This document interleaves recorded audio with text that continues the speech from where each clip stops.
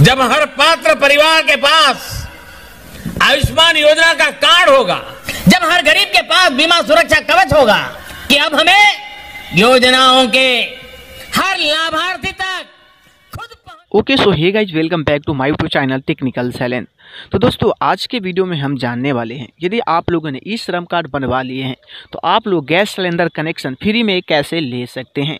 लेकिन आगे बढ़ने से पहले अभी तक वीडियो को लाइक नहीं किया है तो लाइक कीजिए चैनल पर नए हैं तो सब्सक्राइब कीजिए, ताकि आने वाले वीडियो का नोटिफिकेशन आपको सबसे पहले मिले। दोस्तों गवर्नमेंट ने जिन लोगों को ई श्रम कार्ड बना हुआ है, उन लोगों को फ्री गैस सिलेंडर कनेक्शन दे रहे हैं। तो इसके लिए आप लोगों को करना क्या है? सबसे पहले ई श्रम कार्ड के पोर्टल पे ई श्रम कार्ड आप लोगों को बनवाना है। यदि आप लोगों ने 31 दिसंबर से पहले यदि ई श्रम कार्ड आपने बनवा लिए हैं तो गवर्नमेंट की तरफ़ से हज़ार रुपये की पहली किस्त आप लोगों के अकाउंट में आने वाले हैं और बहुत ही जल्दी आप लोगों को अकाउंट में आ भी जाएँगे और काफ़ी लोग ऐसे भी हैं जिनके अकाउंट में हज़ार हज़ार रुपये की पहली किस्त आ भी चुके हैं। तो आप लोग गैस सिलेंडर की कनेक्शन फ्री में कैसे ले सकते हैं?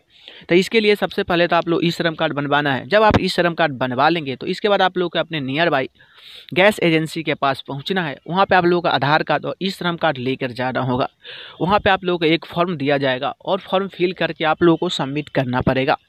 यदि आप लोगों के शादी हो चुका है और इससे पहले आप लोग के नाम से गैस सिलेंडर का कनेक्शन नहीं है तो ही आप लोगों को गैस सिलेंडर का कनेक्शन फ्री में मिल जाएँगे। तो इस तरह से आप लोग चाहे तो फ्री में गैस सिलेंडर के कनेक्शन ले सकते हैं। तो बस आज के वीडियो बस इतना ही।